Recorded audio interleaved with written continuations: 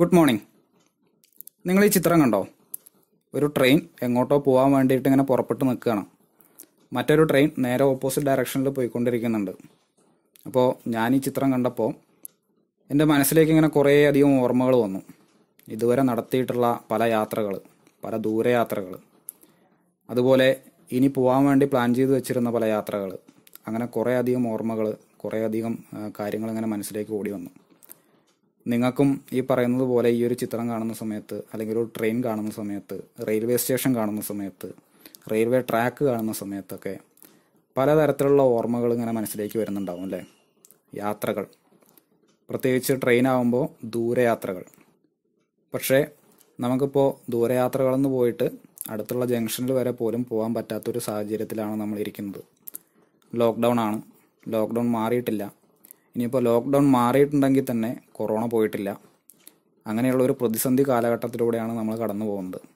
അപ്പോൾ ദൂരയാത്രകൾ എന്നൊക്കെ പറയുന്നത് വെറും സ്വപ്നം മാത്രമായിട്ടിരിക്കുന്ന ഒരു കാലത്താണ് ഞാനിങ്ങനെ ഒരു ട്രെയിനിന്റെയൊക്കെ ചിത്രം കാണിച്ച് നിങ്ങളെ കൊതിപ്പിക്കുന്നത്.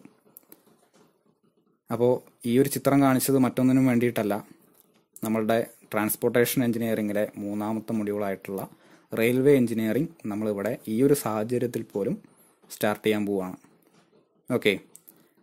അപ്പോൾ ഈ ഒരു പ്രതിസന്ധി കാലഘട്ടം എത്രയും പെട്ടെന്ന് തീർന്നു പോയി. നമ്മളുടെ യാത്രകളൊക്കെ പുനരാരംഭിക്കാൻ കഴിയും എന്ന് പ്രതീക്ഷിച്ചുകൊണ്ട് പ്രത്യാശിച്ചുകൊണ്ട് ഈ പോകാൻ വേണ്ടി പുറപ്പെട്ടു നിൽക്കുന്ന ട്രെയിൻ അതിനൊരു ശുഭസൂചകമായി കരുതിക്കൊണ്ട് നമ്മൾ നമ്മളുടെ മൂന്നാമത്തെ മൊഡ്യൂളായിട്ടുള്ള റെയിൽവേ എഞ്ചിനീയറിംഗ് സ്റ്റാർട്ട് ചെയ്യാണ്.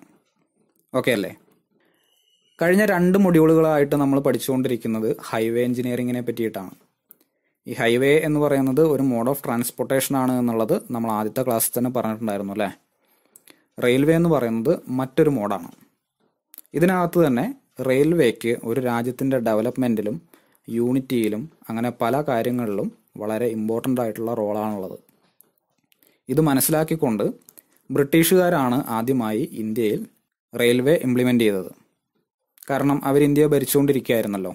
അപ്പോൾ അവരുടെ ആ ഭരണ കാര്യങ്ങളെല്ലാം ഒന്ന് കോർഡിനേറ്റ് ചെയ്യാൻ വേണ്ടിയിട്ട് അതിന് സുഗമമാക്കാൻ വേണ്ടിയിട്ടാണ് അവർ ഇന്ത്യയിൽ എന്ത് ചെയ്യുന്നത്? റെയിൽവേ ഇംപ്ലിമെന്റ് ചെയ്യുന്നത്. അവർക്ക് സോൾജേഴ്സിനെ ട്രാൻസ്പോർട്ട് ചെയ്യാനും മാസീവായിട്ട് ഗുഡ്സ് ഒരു സ്ഥലത്ത് നിന്ന് മറ്റൊരു സ്ഥലത്തേക്ക് ട്രാൻസ്പോർട്ട് ചെയ്യാനും അങ്ങനെയുള്ള കുറേ അധികം കാര്യങ്ങൾക്ക് വേണ്ടിയിട്ട് അവർ റെയിൽവേ ഇന്ത്യയിൽ ഇംപ്ലിമെന്റ് ചെയ്തത്. പിന്നീട് ബ്രിട്ടീഷുകാരെ നമ്മൾ കെട്ടുകെട്ടിച്ചു. പക്ഷേ റെയിൽവേ നമ്മൾ ഇങ്ങോട്ട് എടുത്തു.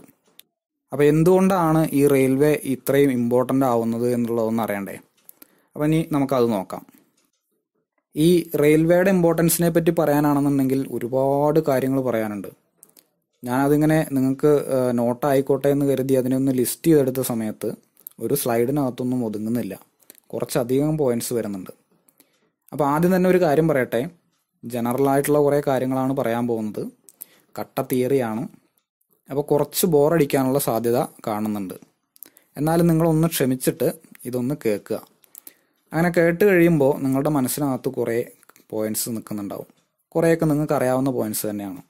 ഈ പോയിന്റ്സിനെ എല്ലാം നിങ്ങൾക്ക് ലിസ്റ്റ് ചെയ്യാൻ കഴിയുന്നുണ്ടെങ്കിൽ ആ ലിസ്റ്റ് ചെയ്യുന്ന സംഭവമാണ് നിങ്ങളുടെ ഇമ്പോർട്ടൻസ് ഓഫ് റെയിൽവേ എന്ന് പറഞ്ഞിട്ട് എക്സാമിന് ഒരു ക്വസ്റ്റ്യൻ ചോദിച്ചു കഴിഞ്ഞാൽ അതിന്റെ ഉത്തരമെന്ന് പറയുന്നത് നിങ്ങളുടെ മനസ്സിൽ വരുന്ന ആ പോയിന്റ്സ് തന്നെയാണ്. ഈ റെയിൽവേ എന്ന് പറയുന്നത് നമ്മൾ നേരത്തെ പറഞ്ഞതുപോലെ ബ്രിട്ടീഷുകാരാണ് ഇംപ്ലിമെന്റ് ചെയ്തത്. റെയിൽവേക്ക് ഒരുപാട് പ്രത്യേകതകളുണ്ട്. റെയിൽവേയുടെ പ്രത്യേകതകളെ പറ്റി പറയുന്ന സമയത്ത് നമ്മളുടെ മനസ്സിലേക്കൊക്കെ ആദ്യം ഓടിയെത്തുന്ന ഒരു പോയിന്റ് ഉണ്ട്. എന്താണ്? റെയിൽവേ ആണ് ഏറ്റവും ചീപ്പസ്റ്റ് ആയിട്ടുള്ള മോഡ് ഓഫ് ട്രാൻസ്പോർട്ടേഷൻ മറ്റു മോഡുകളെ അപേക്ഷിച്ച് നോക്കുന്ന സമയത്ത്. വാട്ടർവേസ് ഉണ്ട് കേട്ടോ. വാട്ടർവേസും ചീപ്പസ്റ്റ് ആണ്. പക്ഷെ വാട്ടർ വേസിന് നമ്മളുടെ നേഷന്റെ എല്ലാ പോയിന്റിലേക്കും കണക്ട് ചെയ്യാൻ പറ്റില്ല. വാട്ടർ ഉള്ള സ്ഥലത്ത് മാത്രമല്ലേ വാട്ടർവേസ് കൊടുക്കാൻ പറ്റുള്ളൂ. പക്ഷെ റെയിൽവേ അങ്ങനെയല്ല. റെയിൽവേക്ക് ലാൻഡിലൂടെ നമ്മുടെ രാജ്യത്തിലെ ഇമ്പോർട്ടന്റ് ആയിട്ടുള്ള എല്ലാ പോയിന്റ്സിലൂടെയും കണക്ട് ചെയ്യാൻ പറ്റും. എല്ലാ പോയിന്റ്സും എന്ന് ഞാൻ പറയില്ല. എന്നാലും ഒരുവിധം എല്ലാ മേഖലകളിലും റെയിൽവേ ഉണ്ട്. ഇപ്പോൾ കേരളത്തിന്റെ കേസ് എടുത്തു കഴിഞ്ഞാൽ കേരളത്തിനകത്ത് തന്നെ വയനാട് ജില്ലയിലും ഇടുക്കി ജില്ലയിലും റെയിൽവേ കണക്ടിവിറ്റി ഇല്ല. അപ്പോൾ നമ്മൾ ഹൈവേ പോലെ ഡോർ ടു ഡോർ സർവീസ് ഒന്നും നമ്മുടെ റെയിൽവേക്ക് ഉണ്ടാവില്ല. എന്നാൽ പോലും ഒരു രാജ്യത്തിന്റെ എല്ലാ ഭാഗങ്ങളിലേക്കും റീച്ച് ചെയ്യുന്ന ഒരു ടൈപ്പ് ഓഫ് അല്ലെങ്കിൽ ഒരു മോഡ് ഓഫ് ട്രാൻസ്പോർട്ടേഷനാണ് റെയിൽവേ രാജ്യത്തിന്റെ എന്ന് വേണ്ട വേൾഡിൽ തന്നെ എല്ലാ ഭാഗങ്ങളിലേക്കും റെയിൽവേ ഉണ്ട് എന്നാണ് പറയുന്നത്. ഇനി മറ്റൊരു പ്രത്യേകത എന്ന് പറയുന്നത് റെയിൽവേ ഉപയോഗിക്കുന്ന പവറിന്റെ ആണ് മറ്റ് മോഡുകളെ കമ്പയർ ചെയ്യുന്ന സമയത്ത് റെയിൽവേ ആണ് ഏറ്റവും എഫിഷ്യന്റ് ആയിട്ട് അല്ലെങ്കിൽ ഏറ്റവും ലെസ് പവറിൽ ഏറ്റവും എഫിഷ്യന്റ് ആയിട്ട് ട്രാൻസ്പോർട്ട് നടത്തുന്ന ഒരു മോഡ്. നമുക്ക് റെയിൽവേ ഉപയോഗിച്ച് ഒരുപാട് ഹെവിയർ ആയിട്ടുള്ള മെറ്റീരിയൽസ് ട്രാൻസ്പോർട്ട് ചെയ്യാൻ പറ്റും. പക്ഷേ ആ ഒരു അത് വെച്ച് നോക്കുമ്പോൾ എത്രത്തോളം വെയിറ്റ് ട്രാൻസ്പോർട്ട് ചെയ്യുന്നു അതിനെ വെച്ച് നോക്കുന്ന സമയത്ത് നമ്മൾ ഉപയോഗിക്കുന്ന പവർ എന്ന് പറയുന്നത് വളരെ ചീപ്പാണ് അല്ലെങ്കിൽ വളരെ ലെസ്സാണ് ഇപ്പോൾ നമുക്ക് ഏറ്റവും ഫാസ്റ്റസ്റ്റ് ആയിട്ടൊന്നും നമുക്ക് ഈ പറയുന്ന റെയിൽവേനെ പറയാൻ പറ്റില്ല. എയറോപ്ലെയിൻ ഒക്കെ അല്ലെങ്കിൽ എയർ മോഡ് ആണ് കുറച്ചും കൂടി ഫാസ്റ്റായിട്ട് നമുക്ക് ട്രാൻസ്പോർട്ടേഷന് വേണ്ടി ഉപയോഗിക്കാവുന്ന ഒരു കാര്യം എന്ന് പറയുന്നത്. പക്ഷെ അതെന്തല്ല നമുക്ക് ഒരുപാട് വെയിറ്റ് ഒന്നും ഒരു പരിധിയിൽ കൂടുതൽ വെയിറ്റ് ഒന്നും നമുക്ക് കൊണ്ടുപോകാൻ പറ്റില്ല. പക്ഷേ റെയിൽവേ ആണെന്നുണ്ടെങ്കിൽ ഒരുപാട് ഹെവിയർ ആയിട്ടുള്ള ലോഡ്സിനെ ട്രാൻസ്പോർട്ട് ചെയ്യാൻ പറ്റുന്ന ഒരു മോഡാണ് അതിന് എടുക്കുന്ന പവർ എന്ന് പറയുന്നത് വളരെ കുറവുമാണ്. ഗുഡ്സിന്റെ കാര്യം മാത്രമല്ല നമുക്ക് പാസഞ്ചേഴ്സിന്റെ കാര്യം എടുക്കാം. ഒരുപാട് ഒരു മാസ് ഗ്രൂപ്പിനെ നമുക്ക് ഒരു ഭാഗത്ത് നിന്നും മറ്റൊരു ഭാഗത്തേക്ക് മൊബിലൈസ് ചെയ്യണമെങ്കിൽ അതിന് ഏറ്റവും നല്ല മാർഗമെന്ന് പറയുന്നത് റെയിൽവേ ആണ്. അപ്പോൾ അതുകൊണ്ട് തന്നെ ഇപ്പോൾ നമ്മൾ ഹൈവേ എടുക്കുകയാണെന്നുണ്ടെങ്കിൽ ഒരുപാട് വാഹനങ്ങളുടെ ആവശ്യം വരും. അപ്പോൾ ട്രാഫിക് കഞ്ചഷൻസ് വരും. അങ്ങനെയുള്ള കാര്യങ്ങളൊക്കെ ഒഴിവാക്കിക്കൊണ്ട് നമുക്കൊരു ട്രെയിനിനകത്ത് ഒരുപാട് ആളുകളെ കൊണ്ടുപോകാമെന്നുള്ളത് കൊണ്ട് തന്നെ ആ ഒരു ട്രാഫിക് കഞ്ചഷൻ നമുക്ക് ഒഴിവാക്കാൻ പറ്റും ഈ റെയിൽവേ കൊണ്ട്. നമുക്ക് ആലോചിച്ചാൽ തന്നെ അറിയാം അല്ലേ? ഒരു ട്രെയിനൊക്കെ വരുന്ന സമയത്ത് എന്തുമാത്രം ആളുകളായിരിക്കും ആ പ്ലാറ്റ്ഫോമിൽ ഉണ്ടാവുക? അതിൽ കൂടുതൽ ആളുകൾ ആ ട്രെയിനിലും ഉണ്ട് എന്നുള്ളത് ആലോചിക്കണം. അപ്പോൾ അത്രയും മാസമായിട്ടുള്ള ട്രാൻസ്പോർട്ട് സിസ്റ്റമാണ് ഈ പറയുന്ന റെയിൽവേ എന്ന് പറയുന്നത്. പിന്നെ മറ്റൊരു കാര്യമുണ്ട്. റെയിൽവേ ആണ് ഏറ്റവും കൂടുതൽ ആളുകൾക്ക് ജോലി നൽകുന്ന ഒരു സ്ഥാപനം എന്ന് പറയുന്നത്. പബ്ലിക് സെക്ടറിൽ ഏറ്റവും കൂടുതൽ ആളുകൾക്ക് ജോലി നൽകാൻ പൊട്ടൻഷ്യൽ ഉണ്ടായിരുന്ന ഒരു സ്ഥാപനം റെയിൽവേ ആണ്.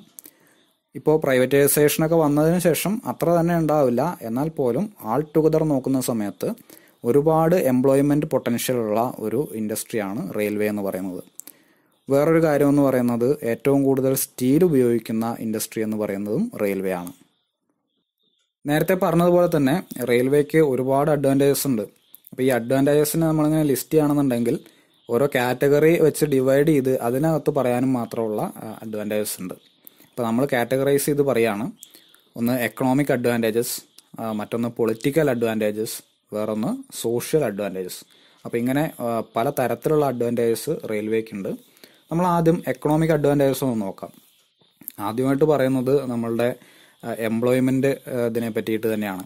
ഒരുപാട് ആളുകൾക്ക് ജോലി കൊടുക്കാൻ പ്രാപ്തമായിട്ടുള്ള ഒരു ഇൻഡസ്ട്രിയാണ് നമ്മളുടെ റെയിൽവേ അപ്പോൾ എംപ്ലോയ്മെന്റ് എന്ന് പറയുന്നത് അല്ലെങ്കിൽ രാജ്യത്ത് നിലനിൽക്കുന്ന അൺഎംപ്ലോയ്മെന്റ് ഒഴിവാക്കാൻ സാധിക്കുകയാണെന്നുണ്ടെങ്കിൽ എല്ലാവരിലേക്കും ജോലി എത്തിക്കാൻ സാധിച്ചാൽ അത്രയും ആളുകളിലേക്ക് നമുക്ക് സമ്പത്ത് എത്തിക്കാൻ സാധിക്കും അല്ലേ?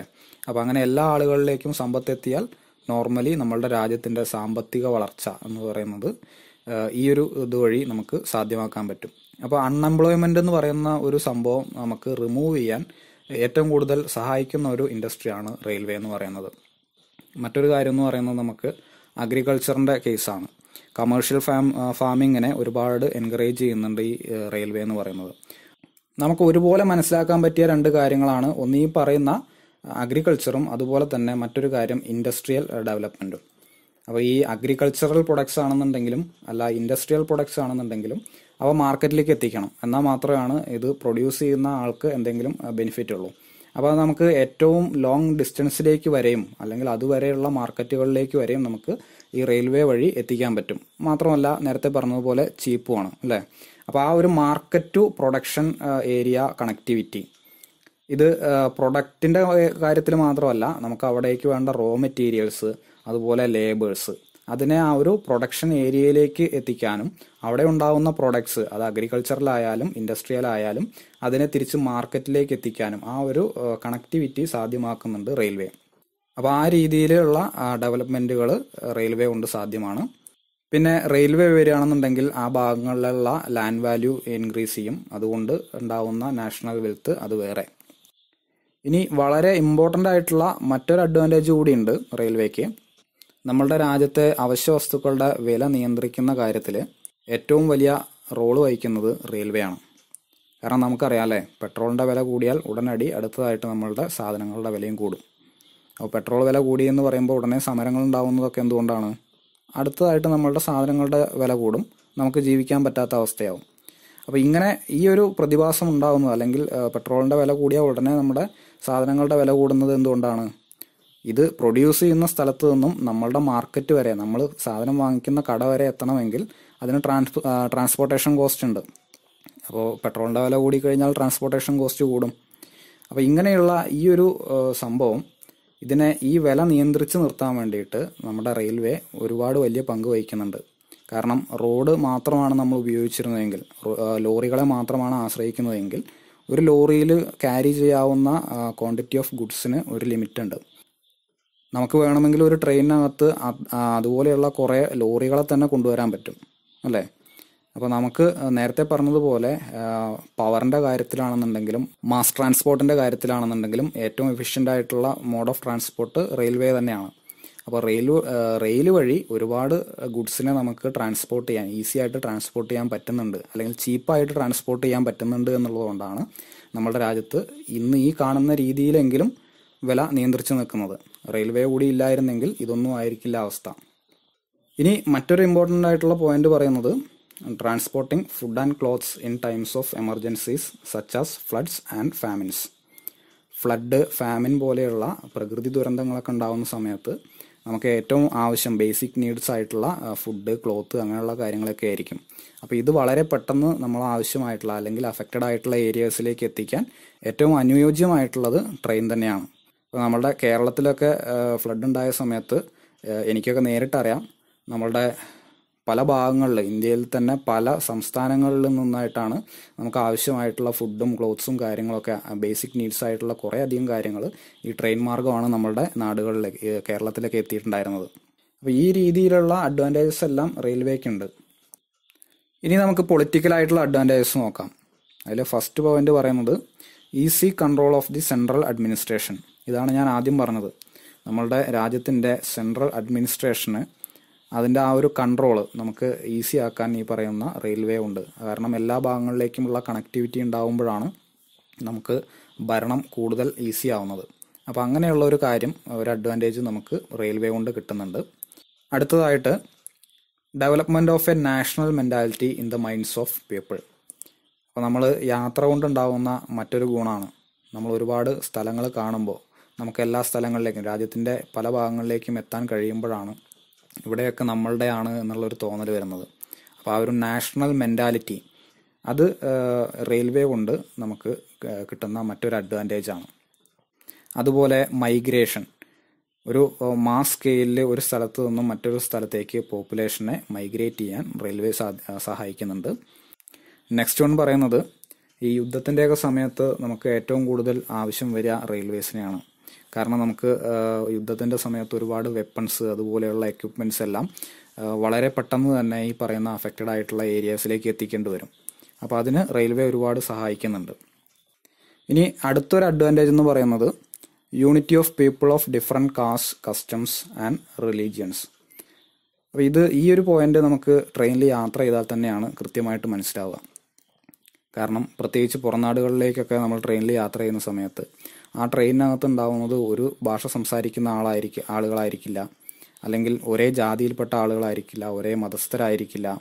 ഇതിനകത്തെല്ലാം ഉള്ളത് പല ഭാഷ സംസാരിക്കുന്ന പല ജാതിയിലുള്ള പല മതത്തിലുള്ള പല കസ്റ്റം ഫോളോ ചെയ്യുന്ന അങ്ങനെ പല തരത്തിലുള്ള ആളുകളാണ്. ഇവരുമായിട്ടെല്ലാമുള്ള ഒരു മിംഗ്ലിംഗ് ഈ ട്രെയിനിനകത്ത് ഉണ്ടാവുന്നുണ്ട്.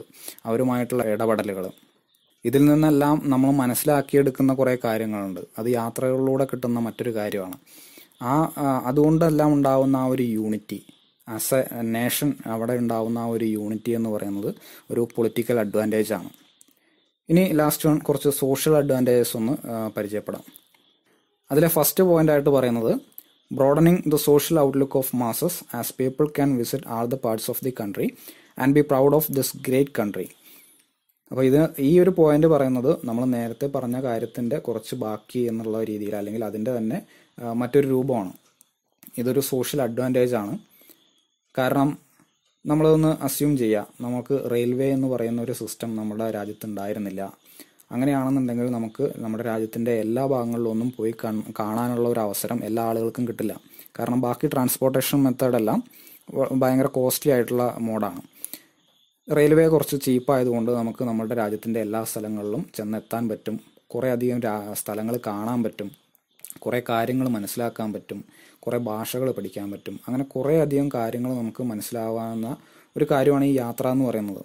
ഏതൊരു സിനിമയിൽ പറയുന്നത് പോലെ ഇതെല്ലാം നമുക്ക് ടെക്സ്റ്റ് നിന്ന് വായിച്ചാൽ മനസ്സിലാവുന്ന കാര്യമല്ല. അത് നമ്മൾ യാത്ര പോയി തന്നെ മനസ്സിലാക്കേണ്ട കുറച്ച് കാര്യമാണ്. അപ്പം ഞാനിത് പറയുന്നത് കൊണ്ട് നമുക്കത് മനസ്സിലാവണമെങ്കിൽ ഈ പറയുന്നത് പോലെ കുറേ സ്ഥലങ്ങളിലൊക്കെ പോയി കാണുക തന്നെ വേണം. അപ്പോൾ അങ്ങനെയുള്ള ആ ഒരു കാര്യം. നമ്മളിപ്പോൾ പുറത്തോട്ടൊന്നും പോകാൻ പറ്റാത്ത ഒരാളാണെന്നുണ്ടെങ്കിൽ അവരുടെ മൈൻഡ് എന്ന് പറയുന്നത് മൈൻഡ് സെറ്റ് എന്ന് പറയുന്നത് ഒരു നാരോ മൈൻഡഡ് ആയിരിക്കും. അവർ അവരുടെ ആ ഒരു ചെറിയ ലോകം അതിനെപ്പറ്റി മാത്രമാണ് അവർ ചിന്തിക്കുന്നുണ്ടാവുള്ളൂ. നമുക്ക് ഒരുപാട് സ്ഥലങ്ങൾ കാണാൻ പറ്റുമ്പോൾ നമ്മളുടെ മനസ്സും അതിനനുസരിച്ച് വിശാലമാവുകയാണ് ചെയ്യുന്നത്. ആ ഒരു സോഷ്യൽ അഡ്വാന്റേജ് അങ്ങനെ ഒരു സോഷ്യൽ അഡ്വാന്റേജ് ഉണ്ടെങ്കിൽ മാത്രമാണ് അല്ലെങ്കിൽ അങ്ങനെയുള്ള ആളുകൾ ഉണ്ടാകുമ്പോൾ മാത്രമാണ് നമ്മളുടെ രാജ്യം നല്ല രീതിയിൽ മുന്നോട്ട് പോകുന്നത്. നെക്സ്റ്റ് എന്താണ്? Easy access to religious places of importance. ഇപ്പോൾ നമ്മൾ പല ആളുകളും പല മതത്തിൽ വിശ്വസിക്കുന്ന ആളുകളാണ് പലതരത്തിലുള്ള വിശ്വാസങ്ങളുള്ള ആളുകളാണ്. അപ്പോൾ അങ്ങനെയുള്ള റിലീജിയസ് ആയിട്ടുള്ള പ്ലേസസുകളൊക്കെ അവിടെയൊക്കെ പോയി വിസിറ്റ് ചെയ്യുക എന്ന് പറയുന്നത് വിശ്വാസികളെ സംബന്ധിച്ച് അവർക്കത് വലിയൊരു ആശ്വാസം നൽകുന്ന കാര്യമാണ്. അപ്പോൾ അങ്ങനെയുള്ള സ്ഥലങ്ങളിലേക്കെല്ലാം എത്തിപ്പെടാൻ നമ്മുടെ റെയിൽവേ സഹായിക്കുന്നുണ്ട്. അതുപോലെ റെയിൽവേ നമുക്ക് കൺവീനിയന്റ് ആയിട്ടുള്ള അതുപോലെ സേഫ് ആയിട്ടുള്ള ഒരു ട്രാൻസ്പോർട്ട് പ്രൊവൈഡ് ചെയ്യുന്നുണ്ട്. നെക്സ്റ്റ് പോയിന്റ് പറയുന്നതും നമ്മൾ നേരത്തെയൊക്കെ പറഞ്ഞതിന്റെ തന്നെ വേറൊരു വേർഷനാണ് removal of feeling of isolation as the railway has prove to be the most safe comfortable and cheap type of transport than all other type of conveyances അപ്പോൾ നമ്മൾക്ക് ആ ഒരു ഐസൊലേറ്റഡ് ആയിട്ടുള്ള ഒരു ഫീലിംഗ് ഇല്ലാതാക്കാൻ റെയിൽവേ സഹായിക്കുന്നുണ്ട്. അപ്പോൾ ഐസൊലേഷൻ കൊണ്ടുണ്ടാകുന്ന മാനസികമായിട്ടുള്ള ബുദ്ധിമുട്ടുകൾ എന്തൊക്കെയാണെന്നുള്ളത് നമ്മളിപ്പോൾ അനുഭവിച്ചുകൊണ്ടിരിക്കുകയാണ്. ഇനി ക്വാറന്റൈനിലല്ല എങ്കിൽ പോലും നമ്മളെല്ലാവരും ഹോം ക്വാറന്റൈനിലായ പോലെയുള്ള ഒരു അവസ്ഥയിലാണ് ഇരിക്കുന്നത്. അപ്പോൾ ഇതിനെ നമുക്ക് ഒഴിവാക്കണമെങ്കിൽ ഏറ്റവും നല്ല മാർഗം എന്ന് പറയുന്നത് യാത്ര തന്നെയാണ്. അത് ചീപ്പസ്റ്റ് ആയിട്ടും മോസ്റ്റ് സേഫ് ആയിട്ടും കംഫർട്ടബിൾ ആയിട്ടും ഒക്കെ നമുക്ക് തരാൻ കഴിവുള്ള ഒരു മോഡ് ഓഫ് ട്രാൻസ്പോർട്ടാണ് റെയിൽവേ. അപ്പോൾ ഇത്രയും അഡ്വാന്റേജസ് നമുക്ക് റെയിൽവേ കൊണ്ടുണ്ട്. ഇനി നമുക്ക് റോഡ് വേസും അതുപോലെ റെയിൽവേസും ഒന്ന് കമ്പയർ ചെയ്ത് നോക്കാം. പല കാര്യങ്ങളിലും എങ്ങനെയാണ് ഇവ വ്യത്യാസപ്പെട്ടിരിക്കുന്നത് എന്നുള്ളത് നോക്കാം. അതിൽ നമ്മൾ ആദ്യം നോക്കുന്നത് ആക്സിഡന്റ് റേറ്റ് ആണ്. ആക്സിഡന്റ് റേറ്റിന്റെ കാര്യത്തിൽ റോഡ് വേയിലാണ് അല്ലെങ്കിൽ റോഡിലാണ് ഏറ്റവും കൂടുതൽ ആക്സിഡന്റുകൾ ഉണ്ടാവുന്നത്. ഈ റോഡിനെ കമ്പയർ ചെയ്യുമ്പോൾ റെയിൽവേയിൽ ഉണ്ടാകുന്ന ആക്സിഡന്റുകൾ വളരെ കുറവാണ്. പക്ഷേ ഉണ്ടാവുന്ന സമയത്ത് ഉണ്ടാകുന്ന കാഷ്വാലിറ്റീസ് എന്ന് പറയുന്നത് കൂടുതലായിരിക്കും. എന്നിരുന്നാലും ആക്സിഡന്റ് റേറ്റ് എന്ന് പറഞ്ഞ് നോക്കുന്ന സമയത്ത് റോഡിലാണ് കൂടുതൽ ആക്സിഡന്റുകൾ ഉണ്ടാവുന്നത്. ഇനി കൺസ്ട്രക്ഷൻ ആൻഡ് മെയിന്റനൻസ് കോസ്റ്റ് ആണെന്നുണ്ടെങ്കിൽ റോഡിന് കൺസ്ട്രക്ഷൻ അതുപോലെ മെയിന്റനൻസ് കോസ്റ്റ് കുറവാണ്. റെയിൽവേയെ കമ്പയർ ചെയ്ത് നോക്കുന്ന സമയത്ത്. പക്ഷേ റെയിൽവേക്ക് അത് വളരെ കൂടുതൽ തന്നെയാണ്. പക്ഷേ കോസ്റ്റ് ഓഫ് ട്രാൻസ്പോർട്ട് ആണെന്നുണ്ടെങ്കിൽ റെയിൽവേയിൽ വളരെ കുറവാണ്. പ്രത്യേകിച്ച് ലോങ് ഡിസ്റ്റൻസിൽ ട്രാവൽ ചെയ്യുകയാണെന്നുണ്ടെങ്കിൽ ചീപ്പാണ് പക്ഷേ റോഡ് വേസിൽ നമുക്ക് കോസ്റ്റ് ഓഫ് ട്രാൻസ്പോർട്ട് കൂടുതലാണ്.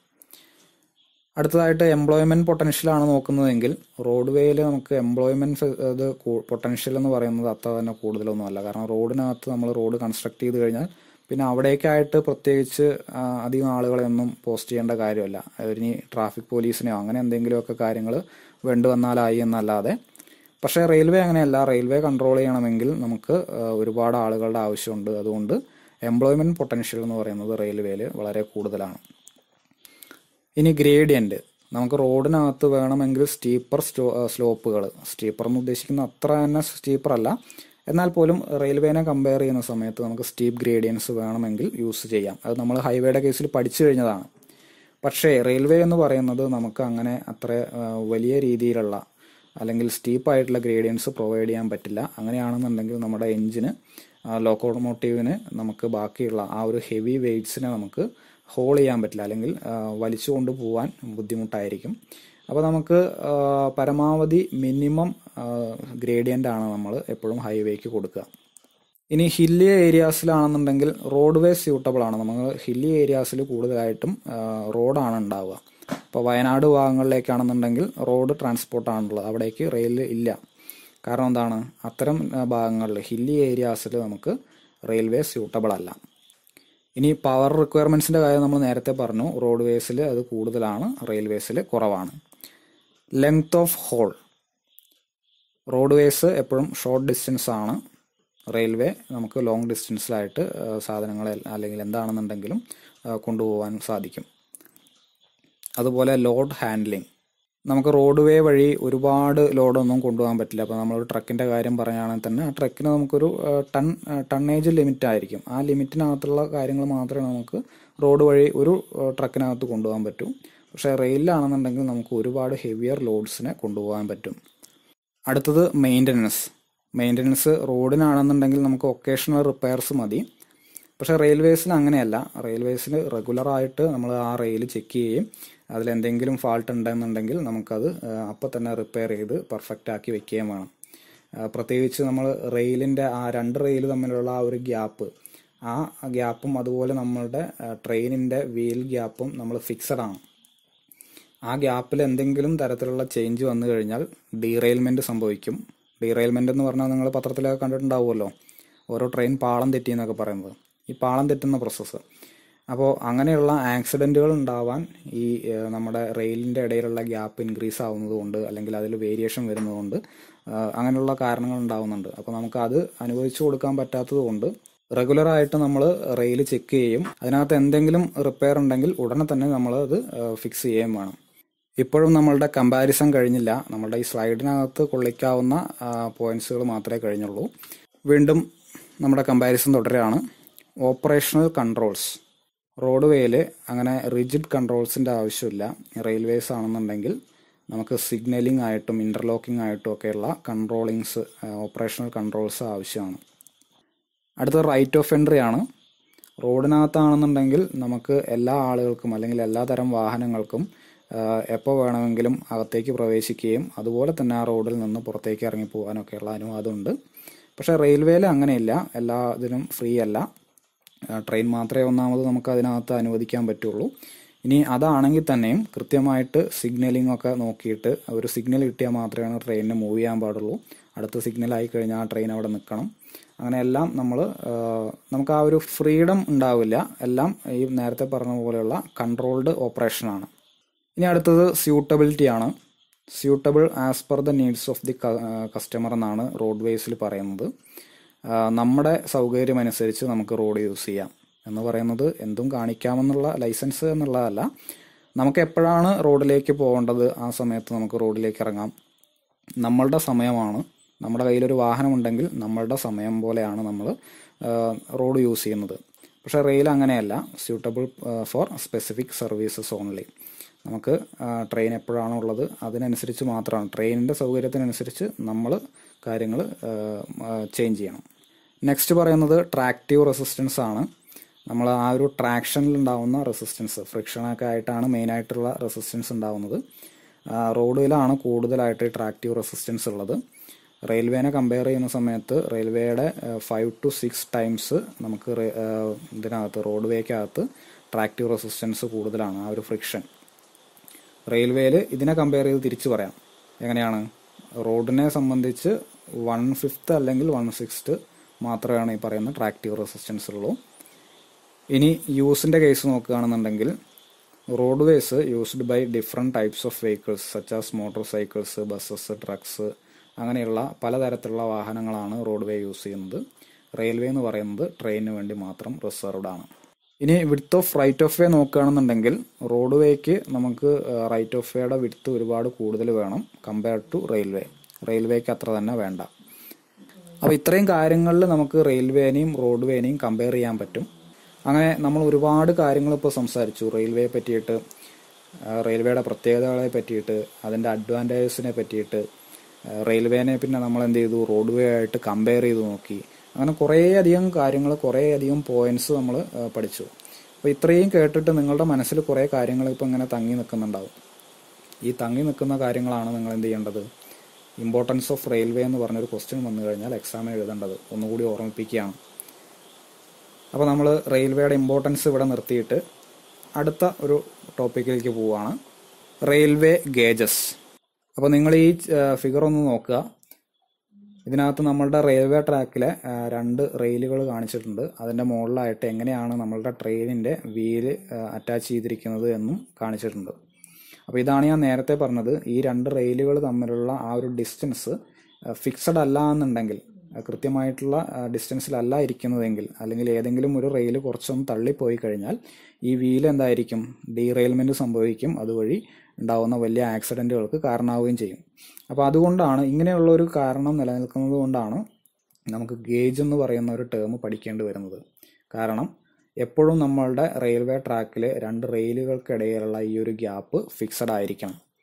ഓക്കെ അങ്ങനെയുള്ള ആ ഒരു ഗ്യാപ്പിനെയാണ് അല്ലെങ്കിൽ ആ ഒരു ഡിസ്റ്റൻസിനെയാണ് നമ്മൾ ഗേജ് എന്ന് പറയുന്നത്. അപ്പോൾ നമ്മൾ ഗേജിനെ ഡിഫൈൻ ചെയ്യുന്നത് എങ്ങനെയാണ് the gauge of a railway track is define as the clear minimum perpendicular distance between the inner faces of two rails. അപ്പോൾ നേരത്തെ പറഞ്ഞതുപോലെ രണ്ട് റെയിലുകൾ തമ്മിലുള്ള ഡിസ്റ്റൻസ് തന്നെയാണ് അത് മെഷർ ചെയ്യുന്നത് എവിടെ നിന്നാണ്? ഈ രണ്ട് റെയിലിന്റെയും ഇന്നർ ഫേസുകൾ തമ്മിലുള്ള പെർപെൻഡിക്കുലർ ആയിട്ടുള്ള ഡിസ്റ്റൻസിനെയാണ് നമ്മൾ ഗേജ് എന്ന് പറയുന്നത്. ഓക്കെ അപ്പോൾ ഈ ഗേജ് ഡിസ്റ്റൻസ് അനുസരിച്ച് നമ്മൾ നാല് തരത്തിലുള്ള ഗേജുകൾ പറയുന്നുണ്ട്. ഇന്ത്യയിൽ തന്നെ നാല് തരത്തിലുള്ള ഗേജുകൾ ഉണ്ടായിരുന്നു. ഇപ്പോൾ ബ്രോഡ് ഗേജ് യൂസ് ചെയ്യുന്നുണ്ട്. ഈ ബ്രോഡ് ഗേജിലാണെന്നുണ്ടെങ്കിൽ ഈ inner to inner distance thousand six hundred and seventy six M M ആണ്. അതുപോലെ സ്റ്റാൻഡേർഡ് ഗേജ് ഉണ്ട്. സ്റ്റാൻഡേർഡ് ഗേജ് എന്ന് പറയുന്നത് ഈ distance thousand four hundred and thirty five M M ആണ്. മീറ്റർ ഗേജ് പേര് പോലെ തന്നെ വൺ മീറ്റർ ആണ് ഗേജ് ലെങ്ത് എന്ന് പറയുന്നത്. That means thousand M M ഇനി അതിൽ കുറവ് ഡിസ്റ്റൻസ് ഉള്ള നാരോ ഗേജ് ഉണ്ട്. നാരോ ഗേജ് എന്ന് പറയുന്നത് seven six two M M ആണ്. അത് തമ്മിലുള്ള ആ ഒരു ഡിസ്റ്റൻസ് വരുന്നത്. ഇത് ഇന്ത്യയിൽ യൂസ് ചെയ്യുന്ന അളവുകളാണ്.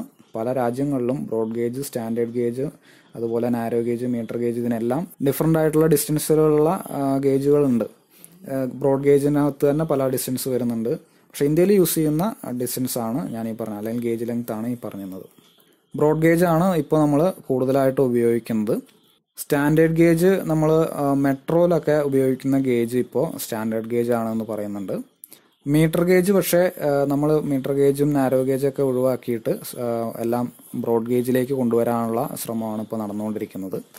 അപ്പോൾ ഈ മീറ്റർ ഗേജ് ഇപ്പോഴും ഉപയോഗിക്കുന്നത് നമ്മളുടെ ഊട്ടി ട്രെയിനിന് അത് നമ്മൾ അങ്ങനെ തന്നെ കൺസർവ് ചെയ്ത് വെച്ചിരിക്കുന്നതായതുകൊണ്ട് ഊട്ടി ട്രാക്ക് നമ്മൾ മീറ്റർ ഗേജാണ് കൊടുത്തിരിക്കുന്നത്. നാരോ ഗേജുകളാണെന്നുണ്ടെങ്കിൽ കൂടുതലായിട്ടും ഹില്ലി ഏരിയാസിലേക്കുള്ള ട്രെയിനുകളിലായിരിക്കും നാരോ ഗേജ് കൊടുക്കുന്നുണ്ടാവുക. നമ്മളങ്ങനെ ഹില്ലി ഏരിയാസിലേക്കുള്ള കണക്ടിവിറ്റി അധികം ഇല്ലാത്തത് കൊണ്ട് നാരോ ഗേജസും അത്ര അധികം നമ്മൾ ഇന്ത്യയിൽ യൂസ് യൂസ് ചെയ്യുന്നില്ല. പിന്നെ പല ഗേജസ് യൂസ് ചെയ്യുമ്പോൾ ഉള്ള ഒരു പ്രശ്നം എന്ന് പറയുന്നത് ഗേജസ് എപ്പോഴും നമുക്ക് യൂണിഫോം ഗേജ് ആണ് ഏറ്റവും സ്യൂട്ടബിൾ ആയിട്ടുള്ളത്. ഒരു രാജ്യത്ത് തന്നെ എല്ലാ ട്രാക്കും സെയിം ഗേജ് ആയിട്ട് വരികയാണ് ഏറ്റവും നല്ലത്. അത് ഡിഫറെന്റ് ആയിട്ടുള്ള ഗേജ് ആണെന്നുണ്ടെങ്കിൽ നമുക്ക് ഒരേ ട്രെയിന് തന്നെ ഈ രണ്ട് ഗേജിനകത്ത് യൂസ് ചെയ്യാൻ പറ്റില്ല. ബ്രോഡ് ഗേജിൽ ഉപയോഗിക്കുന്ന ട്രെയിനിന്റെ വീലുകൾ തമ്മിലുള്ള ഈ ഒരു ഡിസ്റ്റൻസ് എന്ന് പറയുന്നത് വീലുകൾ തമ്മിലല്ല വീലിന്റെ ആ ഒരു ഗേജ് ലെങ്ത് എന്ന് പറയുന്നത്. നമ്മൾ ഈ ഒരു thousand six hundred and seventy six എന്ന് പറയുന്ന ഈ ഒരു വാല്യൂവിനെ കമ്പയർ ചെയ്ത് അല്ലെങ്കിൽ അതിനെ ഡിപ്പെൻഡ് ചെയ്തുകൊണ്ട് ഉണ്ടാക്കിയിരിക്കുന്ന വീലുകളായിരിക്കും. അതൊരിക്കലും നമുക്ക് നാരോ ഗേജിനകത്തൂടെ ആ, കൊണ്ടുപോകാൻ പറ്റില്ല.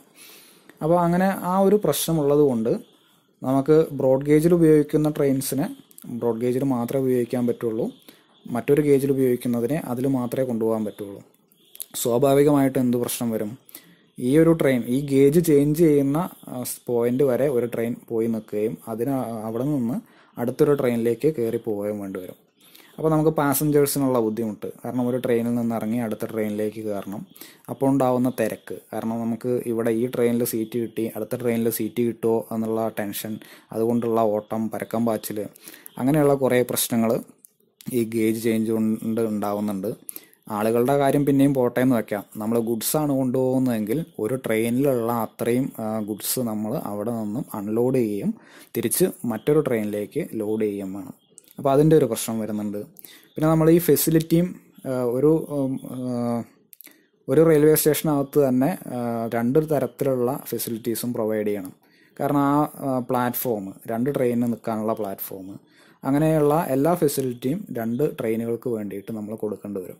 അപ്പോൾ അങ്ങനെയുള്ള കുറേ ബുദ്ധിമുട്ടുകൾ ഉള്ളത് കൊണ്ട് ഒരു രാജ്യത്ത് മുഴുവനായിട്ട് നമ്മൾ ഒരു യൂണിഫോം ഗേജ് കീപ്പ് ചെയ്യുകയാണ് ഏറ്റവും നല്ലത്. ഇനി നമുക്ക് പെർമനന്റ് വേയെ പറ്റി പഠിക്കാം. പെർമനന്റ് വേ ഈ ചിത്രത്തിൽ കാണിച്ചിരിക്കുന്നതാണ് പെർമനന്റ് വേ അപ്പോൾ നിങ്ങൾ ചോദിക്കും ഇത് നമ്മുടെ റെയിൽവേ ട്രാക്ക് അല്ലേ അതെ ഈ റെയിൽവേ ട്രാക്കിനെ തന്നെയാണ് നമ്മൾ പെർമനന്റ് വേ എന്ന് പറയുന്നത്. ഓക്കെ അതിനെ ഡിഫൈൻ ചെയ്യുന്നത് ഇങ്ങനെയാണ്.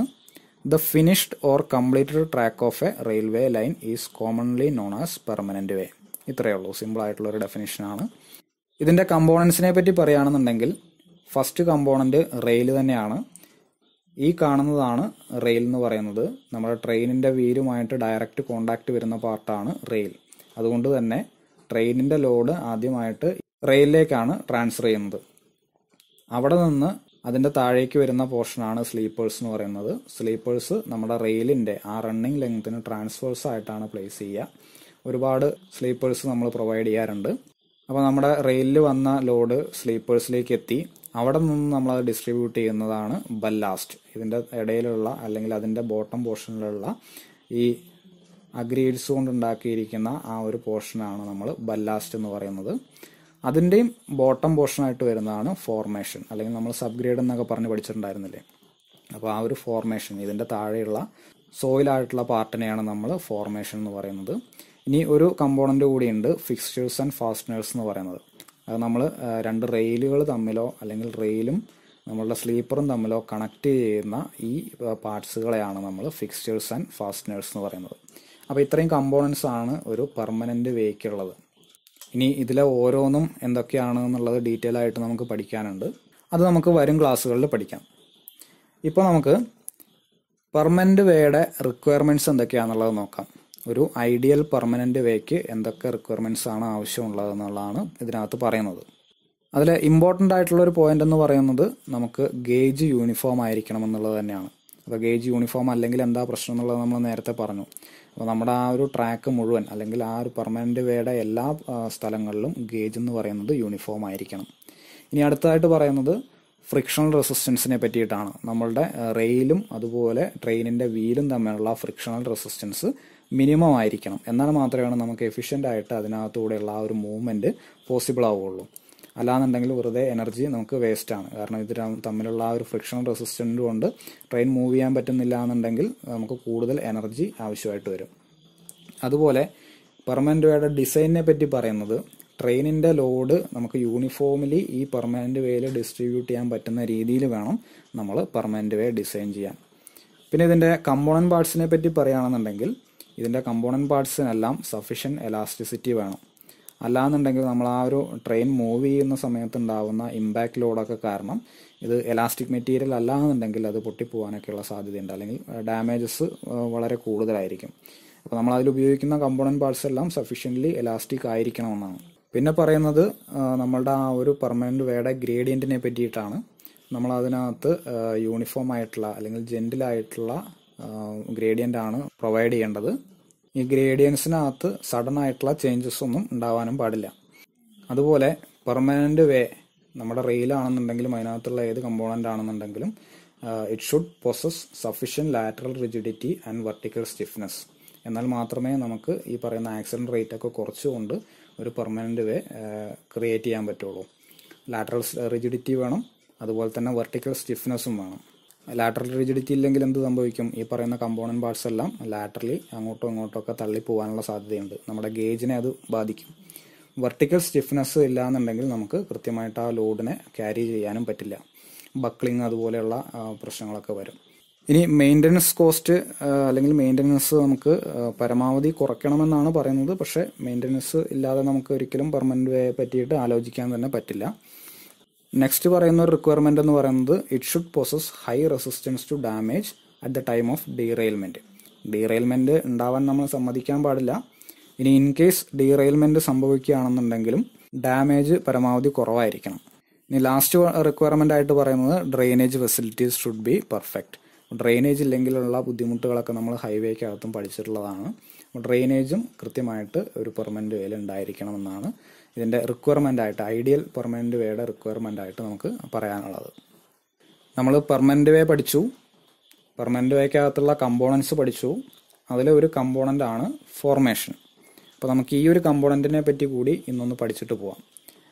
The naturally occurring soil is known as the subgrade and when it is prepare to receive the ballast and track it is called as formation അപ്പോൾ ഫോർമേഷൻ എന്ന് പറയുന്നത് നാച്ചുറൽ ഗ്രൗണ്ട് തന്നെയാണ്.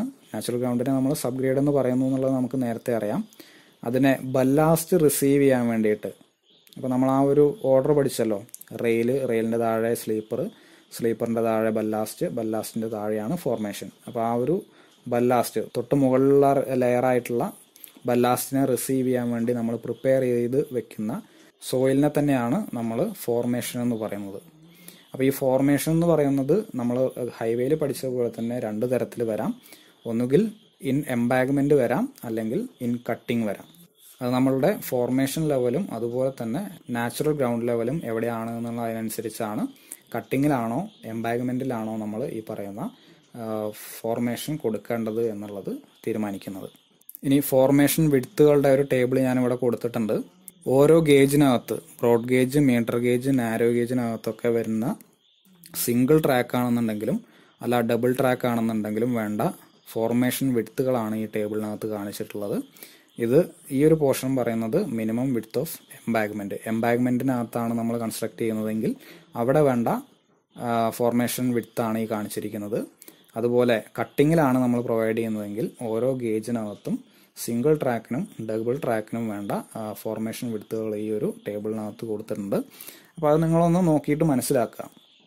Formation എന്താണെന്നുള്ളത് നമ്മൾ നോക്കിക്കഴിഞ്ഞു. ഇനി നമുക്ക് ആ ഒരു ക്രോസ് സെക്ഷൻ എങ്ങനെയാണ് ഇത് അറേഞ്ച് ചെയ്യുന്നത് എന്നുള്ളതിന്റെ ഒരു ക്രോസ് സെക്ഷൻ ഒന്ന് മനസ്സിലാക്കേണ്ടതുണ്ട്. അപ്പോൾ ഏറ്റവും ബേസ് ആയിട്ട് നമുക്ക് ഫോർമേഷൻ വരുന്നു. ഫോർമേഷന്റെ മുകളിലായിട്ട് നമുക്ക് ഈ കാണുന്നത് നമ്മുടെ ബല്ലാസ്റ്റ് ആണ്. ബല്ലാസ്റ്റിലാണ് നമ്മൾ എന്ത് ചെയ്യുന്നത്? നമ്മളുടെ സ്ലീപ്പർ പ്രൊവൈഡ് ചെയ്യുന്നത്. സ്ലീപ്പർ എപ്പോഴും നമ്മൾ ട്രാൻസ്വേഴ്സ് ഡയറക്ഷനിലാണ് പ്രൊവൈഡ് ചെയ്യുക. ആ സ്ലീപ്പറിലേക്ക് കണക്ട് ചെയ്തുകൊണ്ടാണ് നമ്മളുടെ റെയിൽ കൊടുക്കുന്നത്. ഓക്കെ ഇതൊരു ബ്രോഡ് ഗേജിന്റെ ക്രോസ് സെക്ഷൻ ആണ്. അതുകൊണ്ടാണ് ഇതിന്റെ gauge length thousand and six hundred seventy six m m ആയിട്ട് കൊടുത്തിരിക്കുന്നത്. ബാക്കി ഡയമെൻഷൻസ് ഒക്കെ നിങ്ങളൊന്ന് ചെക്ക് ചെയ്ത് നോക്കുക. ഇത് ഒരു എംബാഗ്മെന്റിന്റെ മുകളിലുള്ള കൺസ്ട്രക്ഷൻ ഡീറ്റെയിൽസ് ആണ് അല്ലെങ്കിൽ ക്രോസ് സെക്ഷൻ ആണ് ഇതിനകത്ത് കാണിച്ചിരിക്കുന്നത്. ഒന്നുകൂടി ശ്രദ്ധിച്ചു നോക്കിയാൽ നിങ്ങൾക്ക് ഈ സംഭവം തന്നെ കട്ടിങ്ങിനായിട്ടും ഉപയോഗിക്കാൻ പറ്റും. ഞാനൊന്ന് കാണിച്ചു തരാം. സപ്പോസ് നമുക്ക് വേണ്ടത് ഒരു ബ്രോഡ് ഗേജിന്റെ ക്രോസ് സെക്ഷൻ അത് എങ്ങനെയുള്ളത്? ഒരു സിംഗിൾ ട്രാക്ക് ബ്രോഡ് ഗേജിന്റെ ക്രോസ് സെക്ഷൻ ഇൻ എംബാഗ്മെന്റ് ആണെന്നുണ്ടെങ്കിൽ നിങ്ങൾ വരയ്ക്കേണ്ടത് ഇതാ ഈ കാണുന്നതാണ് നമ്മളുടെ എംബാഗ്മെന്റ് ഓക്കെ ഈ രണ്ട് ഡയറക്ഷനിലായിട്ട് ഞാൻ കംപ്ലീറ്റ് വരയ്ക്കുന്നില്ല. ഇതാണ് നമ്മളുടെ എംബാഗ്മെന്റ് ഈ ഭാഗത്താണ് നമ്മളുടെ ഫോർമേഷൻ ലെവൽ വരുന്നത്. ഇതിന്റെ മുകളിലായിട്ട് എഗെയിൻ നമ്മളൊരു ട്രപ്പിസോഡൽ ഷേപ്പിൽ തന്നെ ഇതാണ് നമ്മളുടെ ബല്ലാസ്റ്റ് വരുന്നത്. ഇവിടെ നമുക്ക് സ്ലീപ്പർ ഉണ്ട്. അതിന്റെ മുകളിലായിട്ട് ഈ കാണുന്നത് റെയിൽ ഇത്രയാണ് നമ്മൾ വരയ്ക്കേണ്ടത്. ഇതാണ് എംബാഗ്മെന്റിലുള്ള സെക്ഷൻ ഇനി ഇത് തന്നെ കട്ടിങ്ങിലാണ് വരുന്നതെങ്കിൽ എങ്ങനെയാണെന്നുള്ളത് നോക്കാം. ഇവിടെ ചെറിയൊരു മാറ്റം വരുത്തിയാൽ മതി. ബാക്കി ബല്ലാസ്റ്റും കാര്യങ്ങളും എല്ലാം അതുപോലെ തന്നെയാണ് വരുന്നത്. ഇവിടെ നിന്ന് ഇതിപ്പോൾ നമ്മൾ കട്ടിങ്ങിലാണ് കൊടുക്കുന്നതെങ്കിൽ നമുക്ക് അതിനൊരു ഡ്രൈനേജിന്റെ പ്രൊവിഷൻ കൂടി കൊടുക്കണം. അപ്പോൾ ഇവിടെ ഈ ഒരു ഹൊറിസോണ്ടൽ പോർഷൻ ഗ്യാപ്പ് കൊടുത്തതിന് ശേഷം ഇവിടെ നമ്മൾ ഒരു ഡ്രൈനേജ് കൂടി കാണിക്കുക. അപ്പോൾ ഇതിങ്ങനെ മുകളിലേക്കായിരിക്കും. ഇത്രയും ഭാഗം നമ്മൾ കട്ട് ചെയ്തെടുത്തതായിരിക്കും. അവിടെ നമ്മൾ കട്ടിങ്ങിലായതുകൊണ്ട് തന്നെ പ്രത്യേകിച്ചൊരു ഡ്രെയിനേജ് ഫെസിലിറ്റി കൂടി നമ്മൾ പ്രൊവൈഡ് ചെയ്യണം. അപ്പോൾ ഈ രീതിയിലാണ് നമ്മൾ ഇതിന്റെ ബേസ് വരയ്ക്കുന്നതെങ്കിൽ ഇതിനെയാണ് നമ്മൾ cross section of broad gauge in cutting അത് സിംഗിൾ ട്രാക്കിന് വേണ്ടിയിട്ടുള്ള സെക്ഷൻ നമ്മൾ ഇങ്ങനെയാണ് വരയ്ക്കേണ്ടത്. ഓക്കെ ഈ കാണുന്നത് ഡബിൾ ട്രാക്കിന്റെ ക്രോസ് സെക്ഷനാണ് ആദ്യം കാണുന്നത് നമുക്ക് എംബാഗ്മെന്റിനകത്ത് കൊടുക്കുന്ന സെക്ഷനാണ്. അടുത്തത് താഴെ കാണുന്നത് കട്ടിങ്ങിൽ എങ്ങനെയാണ് ഒരു ഡബിൾ ട്രാക്ക് അത് കൊടുക്കുന്നത് എന്നുള്ളതാണ്. ഓക്കെ അപ്പോൾ അത് നിങ്ങൾക്ക് നേരത്തെ കാണിച്ചിരിക്കുന്ന ആ സെക്ഷനും അതിന്റെ കമ്പോണൻസും കാര്യങ്ങളൊക്കെ തന്നെയാണ്. ഇവിടെ രണ്ട് ട്രാക്കുകൾ ഉണ്ട് എന്ന് മാത്രം. അപ്പോൾ നിങ്ങൾ അതും ഈ ഫിഗർ നോക്കിയിട്ടൊന്ന് മനസ്സിലാക്കുക. ഇനി ഇതെല്ലാം കൂടി ഉൾപ്പെടുത്തിക്കൊണ്ടിട്ടുള്ള ഒരു ഫിഗറാണ് ഈ കാണുന്നത്. ഓക്കെ ഇതിന് ആദ്യം തന്നെ നമുക്ക് സിംഗിൾ ലൈൻ ഓൺ ബാങ്ക് ബാങ്കിങ്ങിൽ വരുന്ന സിംഗിൾ ലൈൻ ട്രാക്കിന്റെ ഫിഗറാണ് ഈ കാണുന്നത്. അത് ഡബിൾ ലൈൻ ആണെന്നുണ്ടെങ്കിൽ ബാങ്കിൽ തന്നെ എംബാഗ്മെന്റിന്റെ മുകളിൽ തന്നെ വരുന്ന ഡബിൾ ലൈൻ ട്രാക്കാണ് ഇവിടെ കാണിച്ചിരിക്കുന്നത്. തേർഡും ഫോർത്തും കട്ടിങ്ങിൽ വരുന്ന ഫിഗേഴ്സാണ് അതായത് കട്ടിങ് ആയതുകൊണ്ട് തന്നെ ഇതിനകത്ത് ഡ്രെയിനേജ് കാണുന്നുണ്ട്. അത് സിംഗിൾ ലൈൻ ആണെന്നുണ്ടെങ്കിൽ ഈ കാണുന്ന രീതിയിൽ വരയ്ക്കുക. ഡബിൾ ലൈൻ ആണെന്നുണ്ടെങ്കിൽ ഈ കാണുന്ന രീതിയിൽ വരയ്ക്കുക. അപ്പോൾ നിങ്ങൾക്ക് ഇതിനകത്ത് കാണിച്ചിരിക്കുന്ന എല്ലാ ഫിഗേഴ്സും ഒന്ന് റെഫർ ചെയ്ത് നോക്കുക. അതിനുശേഷം നിങ്ങളുടെ പെർമനന്റ് വേയുടെ ക്രോസ് സെക്ഷൻ ഏത് കണ്ടീഷനിൽ വരയ്ക്കാൻ പറഞ്ഞാലും നിങ്ങൾ വരയ്ക്കാൻ പ്രാപ്തരാവണം. അപ്പോൾ ഈ ക്രോസ് സെക്ഷന്റെ കാര്യം കൂടി പറഞ്ഞുകൊണ്ട് നമ്മൾ ഇന്നത്തെ ക്ലാസ് ഇവിടെ അവസാനിപ്പിക്കുകയാണ്. ബാക്കി കാര്യങ്ങൾ പെർമനന്റ് വേയുടെ തന്നെ പല കമ്പോണൻസിനെ പറ്റിയിട്ടും നമുക്ക് അടുത്ത ക്ലാസ്സിൽ പഠിക്കാം.